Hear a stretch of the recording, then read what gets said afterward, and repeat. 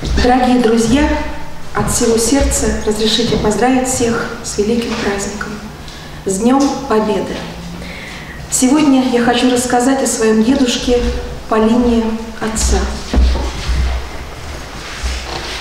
У меня почти что целый рассказ, его написал мой старший брат Олег. Разница у нас буквально всего один год, но брат помнит больше, чем я, и я попросила его написать этот рассказ о нашем деде.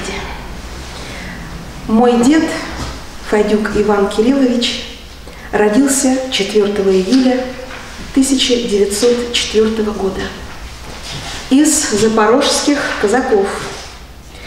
В юношеском возрасте в поисках заработка вместе с братом оказался на Житомирщине. Ко времени начала коллективизации на Украине работал по найму в многодетной крестьянской семье, где познакомился с Антониной, моей бабушкой.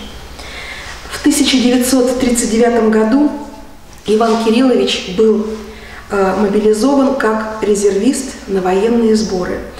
В сентябре с нападения гитлеровской Германии на Польшу началась Великая э, Вторая мировая война. И уже в декабре 1939 года дед принимал участие в советско-финской войне, которая закончилась в марте 40-го. Мирная жизнь оказалась недолгой. К 1941 году в семье росли трое детей. В первые же дни войны Житомирская область была оккупирована немецко-фашистскими войсками.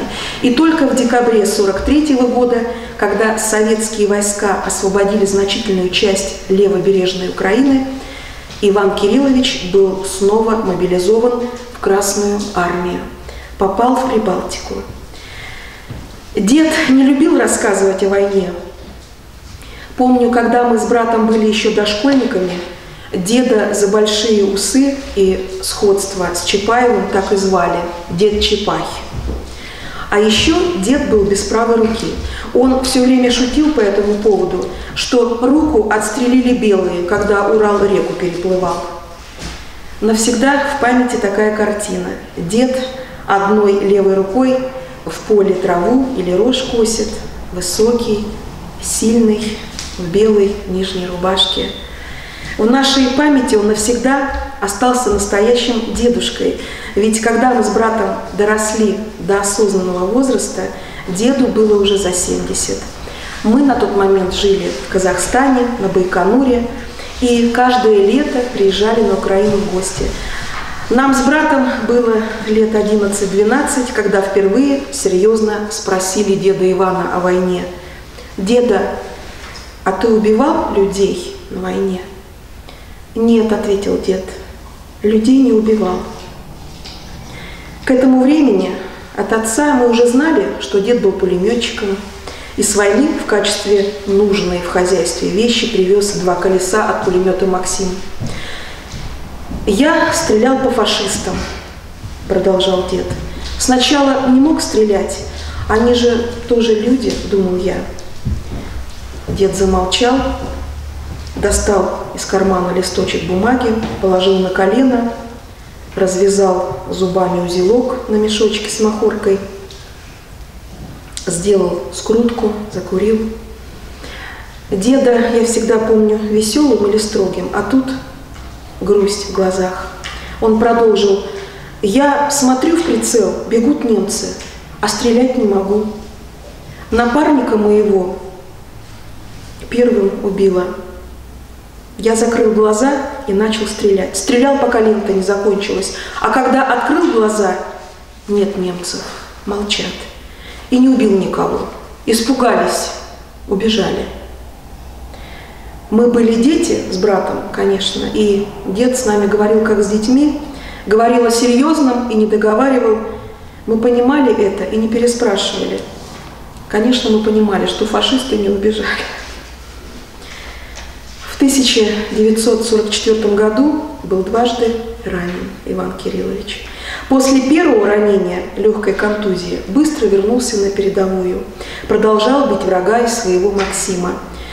Пулеметчик на войне – особая мишень для пули вражеского снайпера. При освобождении Польши эта пуля, пуля особая, со смещенным центром тяжести, настигла моего деда. Ранение оказалось серьезным.